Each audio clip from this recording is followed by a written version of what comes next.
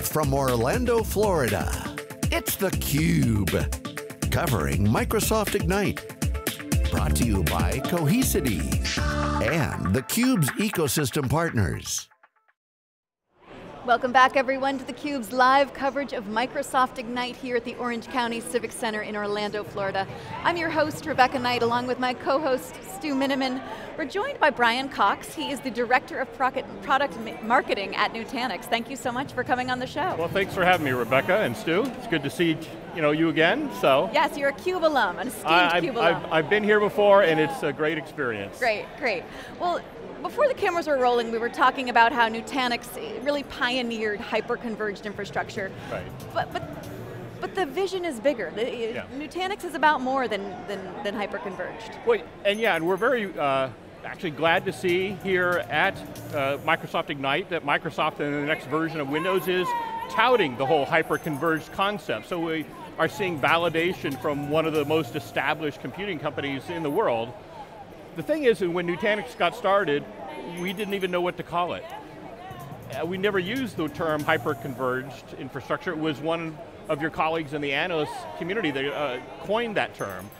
We were really thinking of something, I think, bigger and beyond, which is, how can we simplify IT because at the end of the day, all the business cares about are the services that IT delivers those get delivered through applications. Everything below that, frankly, the business doesn't care, right? If you're a donut company, you want to make donuts. If you're a shipping company, you know, you want to have trucks and all that logistics to be optimal.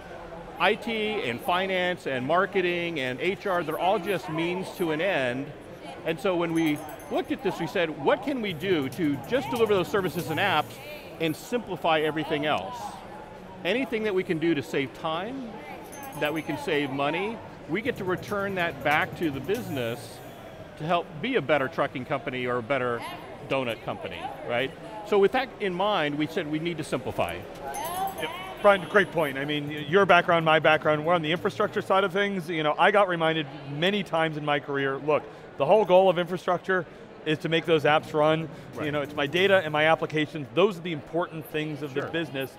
That doesn't mean that we've, you know, made, you know, IT is not yet a utility, it's not completely commoditized, there's differentiation, so maybe help explain a little bit, you know, Nutanix in the Microsoft ecosystem and how that fits in the overall view of, you know, Nutanix's value in the marketplace. Sure. So with the larger vision that Nutanix had, which is let's simplify everything below the app layer, we did start at one place, which is just to fundamentally clean up and simplify the physical infrastructure. So you have you know, storage arrays over here, servers over here, a SAN fabric in between, virtualization layered on top of that, all coming from different vendors, not necessarily all tested together. I know because I used to work at these vendors, right? All different management consoles. It's really hard to become a mastermind of all of that, to have it optimized, and not to have points of failure. So we said the first thing we need to do is eliminate that complexity. And so we brought that down into like a single building block appliance, which ultimately got termed hyper-converged infrastructure. But that wasn't our, our destination, right? But that was just, we needed common building blocks like Lego pieces, right? That can snap together without any fuss and allow the companies to build that up. Then from there, we can then raise the level of simplification all the way between the physical infrastructure to the app.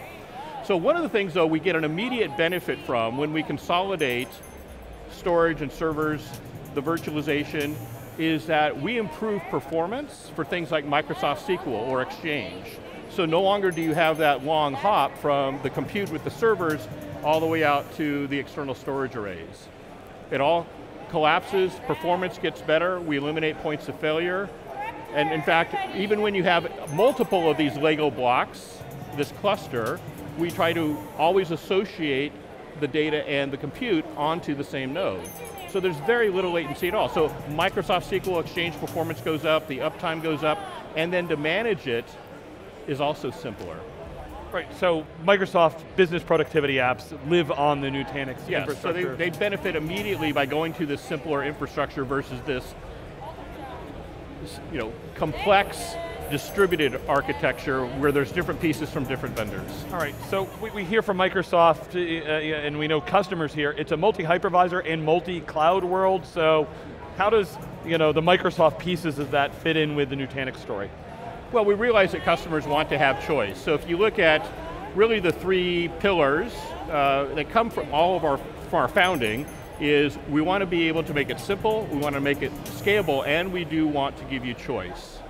So when we look at that last one, we're going to give you a choice of whatever, let's say, hypervisor you wish to use. It could be Hyper-V, it could be ESXi, it could be the Nutanix uh, AHV, it could be uh, Xen server from Citrix. All of those are supported. We support this on multiple different hardware platforms. So you have uh, Dell EMC, Lenovo, IBM, uh, Fujitsu in Europe. We just added Hitachi last week as a partner. We run on Cisco, we run on HPE servers, and the list continues to grow. So whatever is your standard, we'll go ahead and, and work with that. We'll give you choice of different clouds as well. So the uh, software to manage and optimize is not only just for your on-prem environment, you can use this if you're in a distributed environment, whether it's robo or edge sites like oil rigs and other IoT, we can give the same interface, and then the same interface out to the public cloud as well. So we'll give you choice of different clouds, different platforms, different hypervisors, and then different operating systems. We support everything from a Windows Server environment to Linux and even uh, um, IBM's AIX. All are supported on the platform. So you get to have it fit the way you want to work versus the other way around. You, how, how closely do you work with customers in making these decisions? Because I mean, as you said, your goal is simplification, making right. it easy for them to, to, to, to, choose and deploy. So how, how do you walk them through the process and is it ever analysis paralysis because there are simply so many options? Well, for some customers who you know, are struggling with that choice, we do offer our own branded appliance. So it's very simple. You have the, the computing framework, the Nutanix software is there, it's one single support line to call, and that's a very simple model. Other customers, though, have chosen who their platform of choice is, whether that's on-prem, like a, a, physical server, or it's a public cloud. That choice oftentimes has already been made right? We're just working with that. So for those who've already have an opinion at the customer site, we'll work with that. If for some reason they don't have an opinion or they want it even simpler, they can go with the Nutanix branded offering, but we'll work either way. Great. Brian, uh, you go to a number of different shows. Tell us, what are you hearing from customers? What, what are some of the you know, challenges? What are they looking for?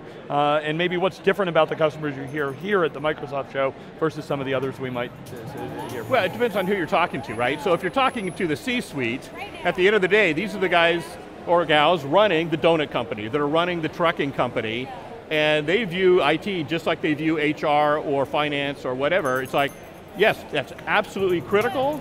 We need that function, but the goal is to make it uh, more efficient, more effective so I can deliver more shipments, make more donuts, right?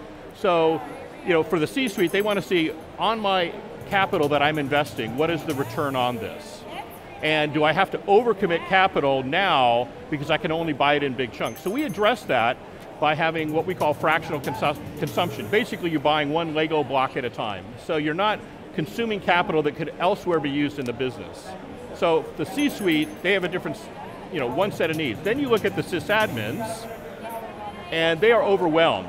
With all this complexity of infrastructure, it burns all their time. They're spending all their nights, all their weekends, they're not very happy, they make mistakes. If we can give them back hours in their day, they're going to be more productive. They can actually do higher level tasks. And then even for the folks on the dev team, if we can simplify the infrastructure and spin up new instances, whether it's containers or VMs, and they can even do it through self-service, that makes them more productive. So we try to address the needs of all those audiences. And that, but those, the customers you're referring to, they are different groups of customers, but they're all ostensibly the same company. Yeah. So are they talking to each other? I mean, are the tech people talking to the business people in terms of what are overarching goals here? Yeah, they do talk to each other, but and, and granted, probably the, the audience we talk with most frequently are the sysadmins, you know, because we're very operationally tied. they will then, and we'll arm them with arguments, to then talk to the C-suite, right? So I was just presenting yesterday here, told him you're going to get your nights and weekends back, but when you got to go talk to the CFO, here are the things that that person's going to care about, right? When you go talk to the dev team, here's the things that you need to share with them. So, you know, we do arm the sysadmins, but we have, uh, you know, a growing presence uh, at the C-suite, for example, and we've also started attending a number of developer conferences saying, hey, this actually makes sense to you to get your job done. It's not just the sysadmins, it's you as a developer, it's you as a leader of the company. Uh, this is transforming the power of IT to help fulfill the organization's mission. I'm curious about your perceptions of Microsoft. Right now, we, we have Satya Nadella who, who really portrays this company as a, a company that is open, inclusive, um, with a growth mindset. Don't be a know-it-all, be a learn-it-all. I mean, is, is that your uh, is, do, you, do you feel that as someone who works closely with Microsoft, rubs, I, rubs I, up against its colleagues? I think it's products. an embrace, like yeah. what Nutanix had in regards to the reality is customers want choice, mm. and it's not one size fits all, not one cookie cutter approach. So Satya is saying, hey, what can we do to integrate with Linux? Never had heard under maybe the previous regimes, right? Uh, what can you do to you know, work more closely in the app and development environments that the app developers want? To work in. So I, there's a lot of um, affinity, I think, between Nutanix and where Satya is going, and I'm providing that choice, providing best in class wherever you can, and then let the customer choose, but provide them the pros and cons so they make an informed decision. Brian, thank you so much for coming on theCUBE. It was a pleasure having you. Well, thank you, Rebecca. Thank you, Stu. It's always great to be here. We will have more from theCUBE's live coverage of Microsoft Ignite coming up in just a little bit.